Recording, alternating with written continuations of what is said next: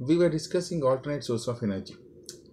So we have discussed uh, biodiesel fuel cells etc right? So whatever it is fuel cells cannot store energy. So until and unless we supply the chemical fuels we cannot withdraw the energy.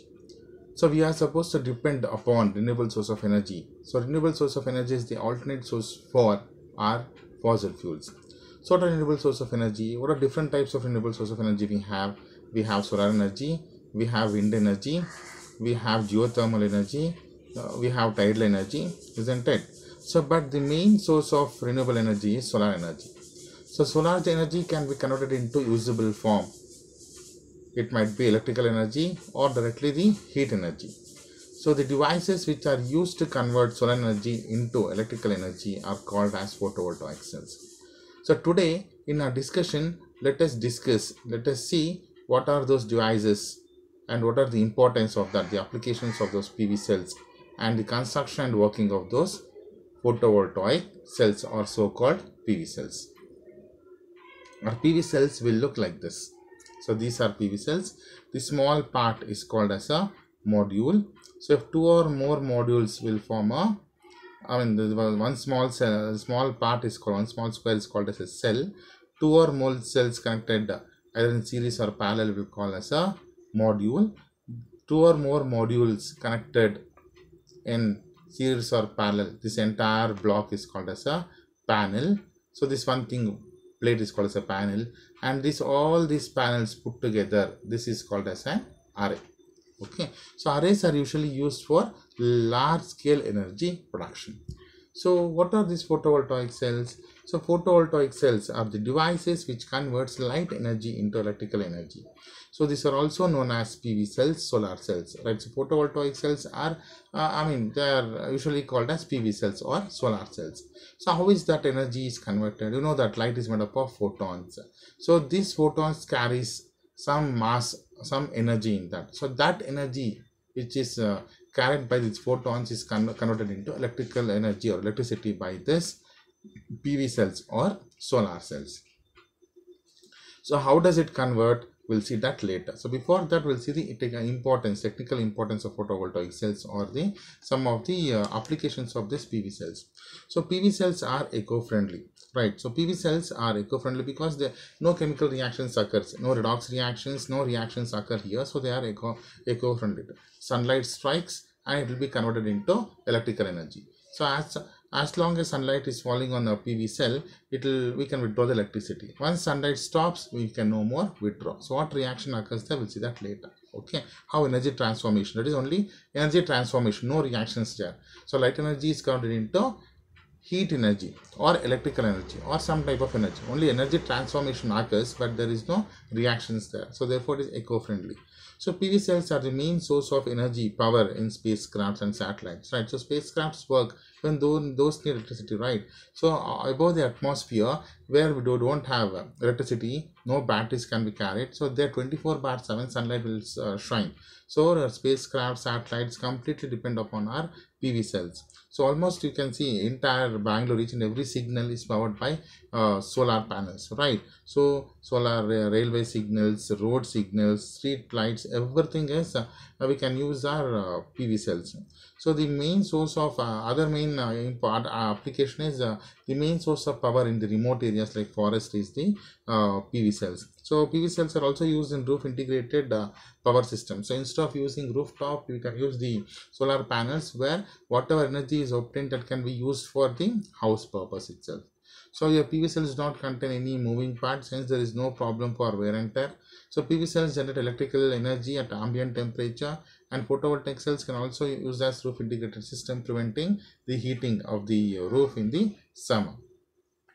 So the raw materials used in the PV cells is nothing but silicon. It is abundantly available. available. So even though it is abundantly available, it is costly. Why it is costly, we'll discuss in our next uh, topic okay so as discussed they are uh, used in the transportation system they're used in domestic appliances they're used in traffic lights they're used in scientific calculators they're used in watches they're used in agriculture machines they're used in spacecrafts they're used in automobiles so these are the importance of our pv cells so now let us see the construction and working of the pv cells So PV cells will act as a semiconductor device. So this is the metallic grid whatever you see here. This metallic grid will form one of the electrical contact and allow light to fall on this on the PN junction. This is PN junction. This is P type and this is N type. So allows light to fall on the semiconductor. So in between the grid lines, we are going to coat a anti-reflective layer. layer.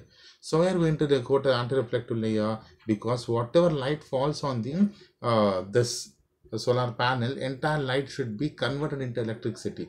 It should not get reflected. Therefore, we're going to put anti-reflective layer. So, what is the anti-reflective layer made up of? It is made up of silver nitride. So, silver nitride will be coated in between the grid lines. So, the other electrical contact is nothing but the metallic layer. The metallic layer which is here, this is this forms the another metallic layer. So, the light radiation forms on the PN junction. So, this is N type and this is P type and the light radiation falls on the PN junction. Electron hole pairs will be generated here at the PN junction. Electron hole pairs will be generated at the uh, PN junction. So, you know that N type is rich in electrons. So, all the electrons will drift towards the uh, N type and holes will drift towards the P type. So when we connect, uh, when two ends of the PV cell are connected to a external uh, electrically, we can see the flow of current here and that current, mm, sorry, and this current is called as what PV current or photovoltaic current. So you can see this, this end is connected and this end is also connected. So whatever current is flowing here, this is called as PV photovoltaic current or PV current. So let us see a small video how the uh, photo, I mean uh, solar energy is generated. The most commonly used renewable energy source is solar energy. But how is solar energy used to generate electricity? A photovoltaic or PV system is used to convert the solar or light energy into electrical energy. The basic component of the PV system is known as the solar cell. A single solar cell has the capacity of producing about 0.5 volts of electricity. A solar panel or solar module is the combination of several solar cells connected in series to generate usable voltage. The solar panel voltage can be increased by increasing the number of solar cells. For example, 30 solar cells connected in series will produce an output of 15 volts. A combination of solar panels connected together is known as solar array and can be used to achieve required current and voltage. This is used for bulk production How does the solar cell Arrays work? are used. The generation of electricity on exposure to sunlight is known as the photovoltaic effect. This principle is used by solar cells to produce electricity. The solar cells are made up of semiconductors, mainly silicon, and comprises three layers. The top layer, called the N-type layer, is comparatively thin and contains high concentration of electrons. The bottom layer, called the p-type layer, contains high concentration of holes. When the p-type and the n-type semiconductor is joined, it forms a p-n junction. On forming a p-n junction, the electrons of the n-type material try to reach the p region, creating a negatively charged layer. Similarly, the holes of the p-type material try to reach the n region, creating a positively charged layer. This region between the two layers is known as the depletion region of the semiconductor. Sunlight penetrates the top thin layer easily to reach the depletion region.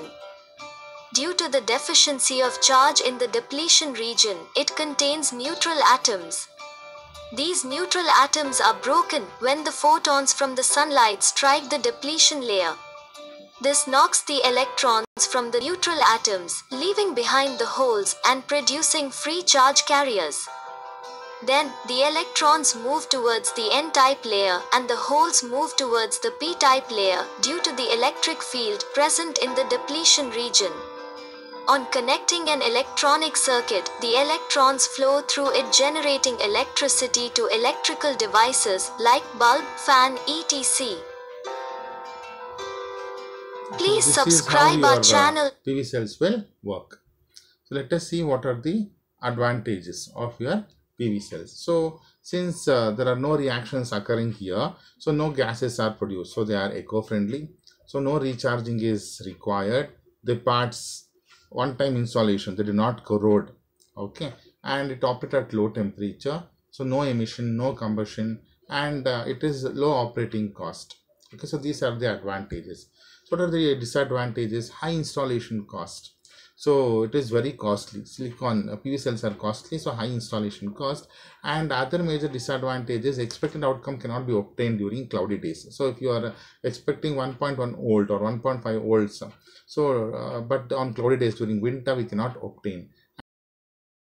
And power output are obtaining in bangalore the same thing cannot be obtained in Ooty or kashmir right?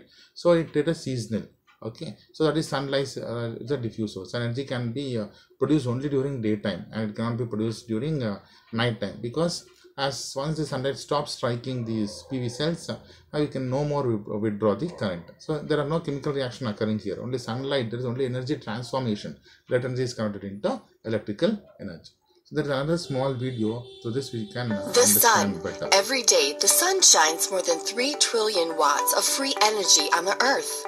That's enough energy to power over 3 million homes for an entire year, being produced every day. Solar panels harness the energy and convert it into clean electricity to power our homes, businesses, and lifestyles. Light from the sun stimulates electrons on a solar panel. These electrons create DC, or direct current electricity. Solar electricity travels from the panels on your roof through an inverter to the circuit breaker panel of your building. An inverter it in AC, changes DC, DC right? So electricity into usable AC. Or alternating current electricity before sending it to the breaker This panel of your building. not in houses. Your home uses that electricity to power the electronic devices we use every day. It's like having your own power plant on your roof with an endless supply of clean energy. Anytime the panels are producing more energy than you are using, like sunny days when you are on vacation, the excess energy is sent back to your utility company where they are required to buy back your excess electricity at the same rates they would normally charge. A concept called net metering.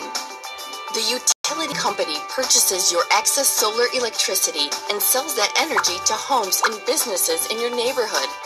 Even homes and businesses that do not have solar panels are still buying your excess solar electricity.